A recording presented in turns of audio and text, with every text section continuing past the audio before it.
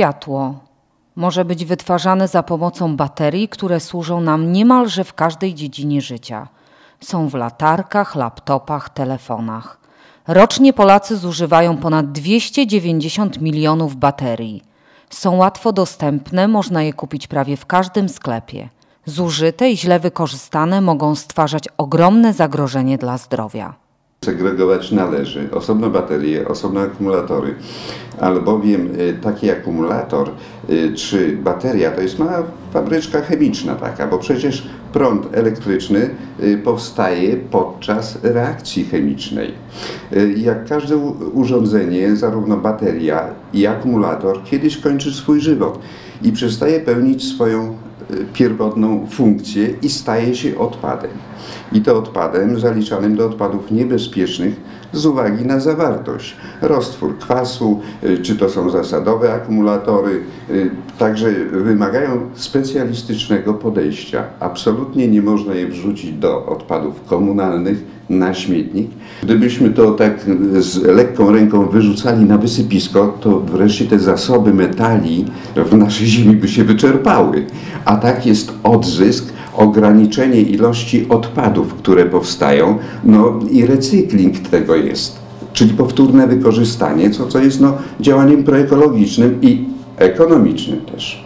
Taka jedna bateria zawiera w sobie ołów, rtęć, kadm, miedź, cynk, nikiel, jest jeszcze lit. Te substancje mogą zanieczyszczać glebę.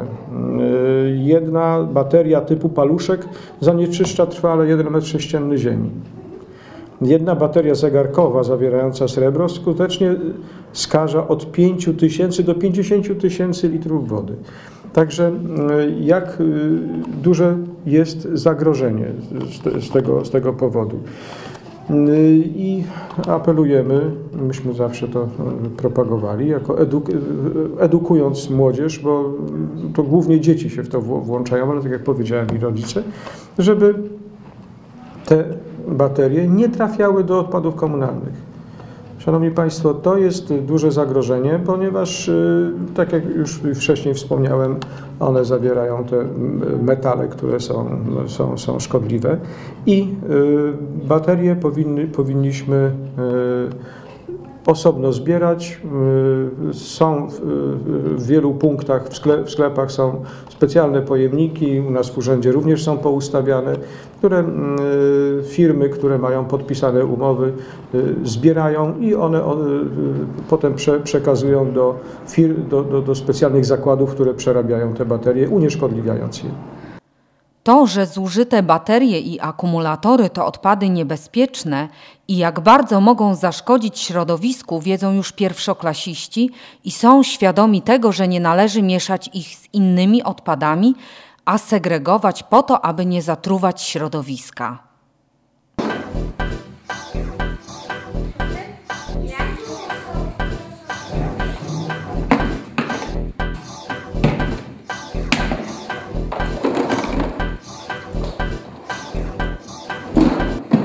Dzisiejszego dnia zbieramy zużyte baterie, ponieważ wiemy, że bardzo szkodzą dla środowiska, zanieczyszczają glebę, e, powietrze oraz wodę.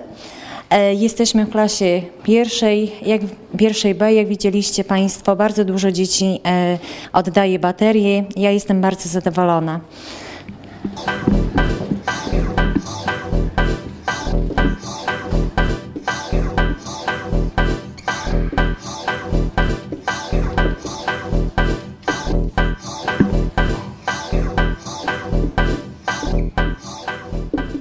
Zbieramy baterie dlatego, że, że potem zabiera ciężarówka taka specjalna i przetwarza nowe baterie do, do rzeczy, które będą znowu działały.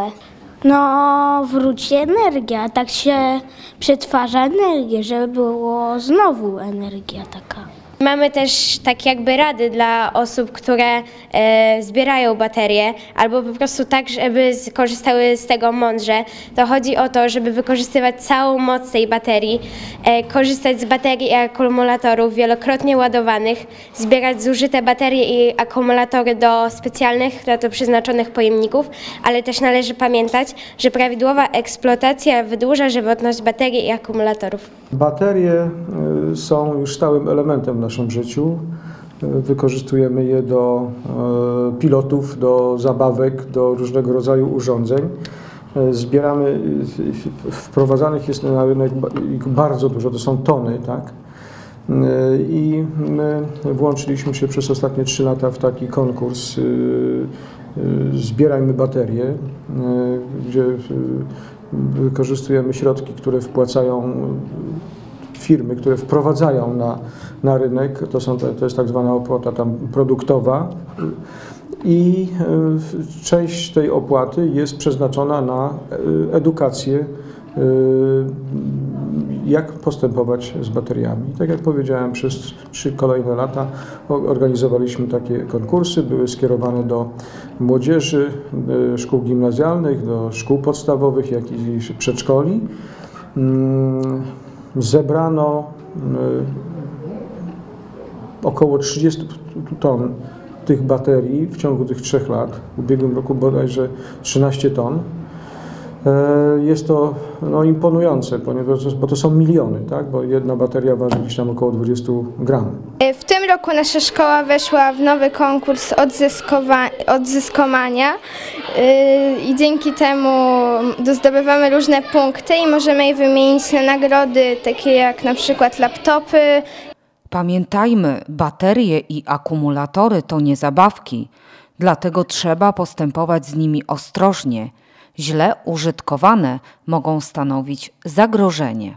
Gdyby akumulator y, czy też bateria stwarzały zagrożenie dla jego użytkownika, to nie mogły być dopuszczone do użytkowania. Jeżeli się prawidłowo obchodzi z danym przedmiotem, czy to z baterią, czy z akumulatorem, to nie stanowi zagrożenia.